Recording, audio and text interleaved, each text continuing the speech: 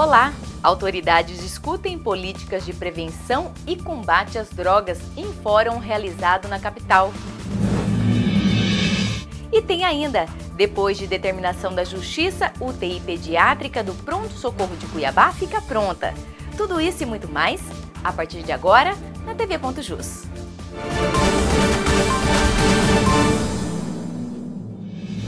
Depois de uma ação civil pública e determinação do Poder Judiciário, Prefeitura de Cuiabá entrega à população reforma de ala pediátrica do Pronto Socorro de Cuiabá. A unidade representa melhoria no atendimento ao cidadão. A ala pediátrica agora conta com 40 leitos, sendo 10 destinados à UTI e 2 de isolamento. No setor de semi-UTI são 5 e na enfermaria 25. A unidade ainda conta com uma brinquedoteca e um espaço de convivência para os acompanhantes das crianças e adolescentes. A obra custou 5 milhões e meio de reais e durou pouco mais de dois anos. A inauguração, que contou com a presença de autoridades, só foi possível porque a juíza da primeira vara especializada da Infância e Juventude da capital, Gleide Bispo Santos, determinou o cumprimento do termo de cooperação técnica assinado pela Prefeitura e Ministério Público. É um padrão de qualidade que vai ser encontrado hoje nos maiores e melhores hospitais do Brasil. Aqui não perde para o Einstein, para o Ciro Libanês, não perde para esses hospitais que são referência. Quando nós terminarmos a obra do novo pronto-socorro de Cuiabá e transferirmos toda a operação para essa nova sede, todas as demais alas aqui serão reformadas e tenho certeza que na mesma qualidade que hoje aqui pode ser vista por todos que estão presentes no, no Hospital Infantil de Cuiabá e de Mato Grosso. Na realidade, nós precisávamos muito de leitos de UTI pediátrica, né? a cidade está carente e nós iniciamos essa saga, essa busca, né? E com o auxílio da Prefeitura Municipal, do prefeito Mauro Mendes, nós estamos hoje realizando esse sonho, na realidade, porque vai diminuir significativamente o número de processos judiciais, as crianças terão um atendimento de qualidade, sobretudo um atendimento humanizado, é o que nós buscamos. Quero parabenizar o Mauro Mendes, a sua administração, a doutora Gleide Bispo e todos aqueles que colaboraram com este terceiro andar. Agora o Estado precisa se fazer presente, estaremos presentes no custeio, porque muitas pessoas que são atendidas aqui, muitas crianças vêm do interior. É o caso que está acontecendo também no São Benedito, em que nós estamos juntos.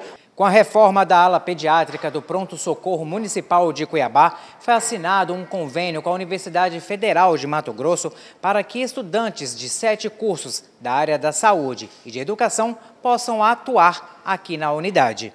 O espaço leva o nome de Idália Bispo dos Santos, uma homenagem à mãe da magistrada, que teve participação fundamental para que a obra se concretizasse. O artigo 227 da Constituição Federal diz que criança e adolescente é prioridade absoluta. E essa é a mensagem que nós temos levado é, enquanto juíza da Vara da Infância e Juventude. Esse aqui realmente é um espaço que vai dignificar e vai receber bem as nossas crianças. Pleno do Tribunal de Justiça de Mato Grosso aprova a manutenção das atividades da primeira turma recursal provisória. A medida vai continuar agilizando os julgamentos dos recursos vindos dos juizados especiais.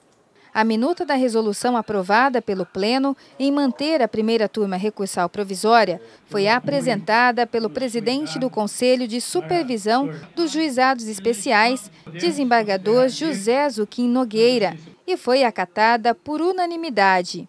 A princípio, a atuação das turmas recursais temporárias estava prevista para ocorrer em 62 sessões de julgamento e terminaria no dia 30 de abril. Com a aprovação do Pleno, a turma recursal temporária vai ajudar a desafogar a turma recursal única. Nós tínhamos aí um estoque o ano passado, a turma recursal com a criação das duas provisórias é, julgaram 32 mil, quase 33 mil processos, e passou de dezembro para janeiro 5.700 processos.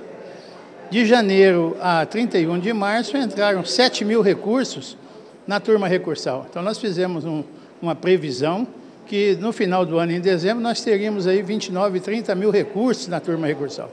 Uma turma única, cada juiz julgando de sua relatoria 500 processos, ele não alcançaria o teto de 20 mil processos.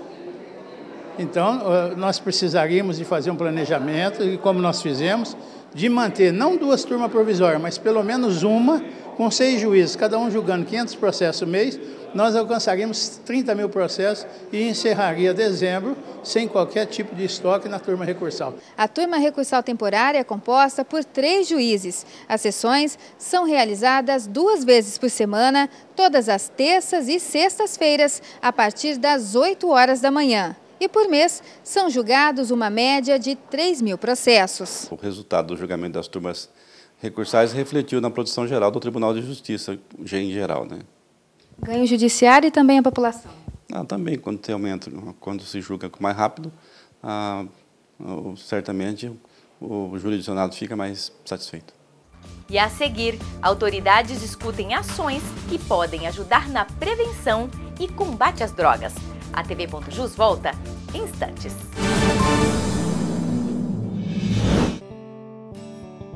Na frequência dos seus direitos, no ritmo da sua opinião em sintonia com a justiça. Estação TJ. Sintonize a rádio que traz todas as ações do Poder Judiciário Estadual e repertório musical de qualidade. www.estaçãotj.com.br Poder Judiciário do Estado de Mato Grosso. Começou hoje e vai até sexta-feira fórum que discute políticas públicas que vão contribuir para a prevenção e combate às drogas. As discussões são realizadas no auditório Gervásio Leite, na sede do Tribunal de Justiça. É neste cenário que vão ser definidas estratégias e metodologias para a prevenção ao uso abusivo do álcool e de outras drogas.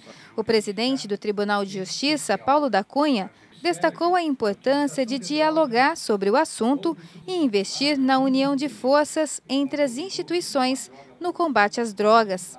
A coordenadora geral de prevenção, Ana Lúcia Ferraz, reiterou que o trabalho em conjunto garante ações mais efetivas e elogiou a atuação de Mato Grosso. Para uma situação complexa, nós não temos como dar respostas simplistas, né? Então nós precisamos unir sim as diferentes áreas das políticas públicas para que a gente possa ter ações mais é, sistemáticas, mais a médio e longo prazo, que de fato deem condições para as pessoas, né? Para que as pessoas se fortaleçam, para que a gente tenha de fato um respeito aos direitos humanos. Durante os três dias de evento, vai ser apresentado pelo governo o Plano Estadual de Assessoramento em Políticas sobre Drogas, Ações 2016.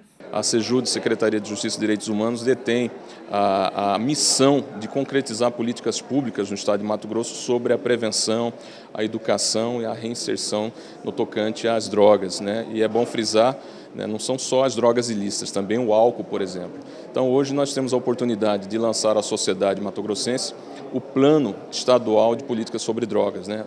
em que nós fixamos diretrizes para enfrentamento em 17 municípios, com base em levantamentos escolhidos junto à Secretaria de Estado de Segurança Pública, onde o problema das drogas se reflete diretamente na desestabilização da sociedade através de crimes patrimoniais e outros delitos. Então é importante trabalhar com foco na prevenção na proteção, na reinserção e também na redução dos danos, porque essa é a tendência de política sobre drogas, não só do Ministério da Justiça, como também da política internacional da Organização das Nações Unidas.